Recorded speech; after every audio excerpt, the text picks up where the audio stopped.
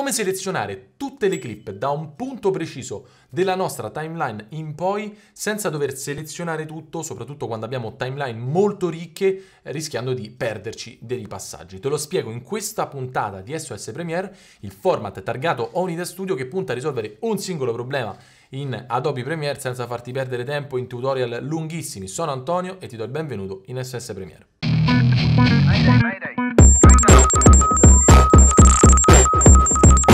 Come al solito voglio assicurarmi che quella che sto per darti sia la risposta al tuo problema, quindi fammi capire, hai una timeline pesantissima, lunghissima, enorme, piena di clip, un sacco di livelli Magari sei molto zoomato e da un certo punto in poi vuoi selezionare tutte le clip magari per spostarle massivamente e lasciare un buco. Che succede? Che con tantissimi livelli, tantissime clip, ti devi mettere a selezionare, ci metti tantissimo ed è molto impegnativo rischiando appunto di perderti pezzi di timeline e di livelli. Ti dico come farlo, è veramente veramente semplice, c'è uno shortcut per questo. Spostiamoci su Premiere e te lo faccio vedere. Eccomi qua su Adobe Premiere, ti ho aperto un progetto di un nostro cliente eh, di qualche settimana fa. Questo è un progetto abbastanza ricco, ci sono eh, 8-9 tracce, grafiche, testi, livelli di regolazione, sottotitoli, c'è un po' di tutto eh, facciamo finta, ecco, mi porto avanti, zoom. Ecco, arrivo a questo punto qua. Facciamo finta che io da questo punto in poi voglia selezionare tutto per spostare. Generalmente che cosa mi viene da fare? Mi viene da fare questo.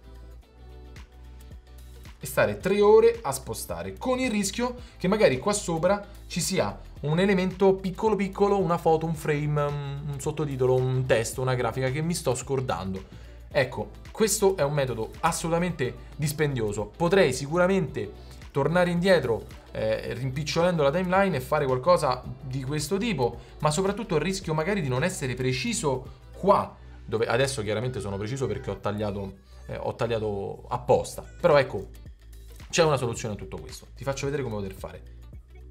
Premi A, compariranno queste frecce e queste frecce ti serviranno per cliccare il punto esatto dopo il quale vuoi selezionare le clip. Come puoi vedere è successo esattamente quello che stavo cercando di fare con un solo clic. Tutte le clip da quel punto in poi si sono selezionate e io adesso tornando con V posso tranquillamente fare quello che volevo fare. Chiaramente è rimasto attaccato il mascherino colorato qui in basso, ma questo non è, non è importante. Ok? Stessa identica cosa la possiamo fare da un punto indietro e il tasto lo trovi sempre qua nella tab degli strumenti che prima non ti ho fatto vedere perché ho lavorato con lo shortcut, però ecco, strumento selezione tracciato avanti e qui invece troviamo anche strumento selezione tracciato indietro, shortcut shift più A. Le freccettine sono verso l'indietro e quello che succede è esattamente l'opposto. Anche qua posso spostarmi come voglio.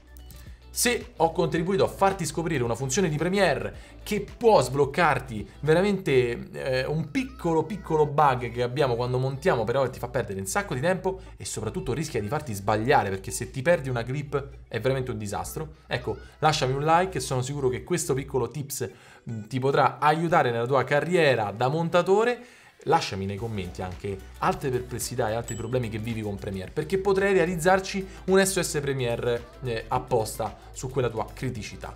Per non perderti tutti gli altri SOS Premiere ti consiglio di iscriverti al canale, io sono Antonio, grazie per l'attenzione che mi hai dedicato, ci vediamo in un prossimo video.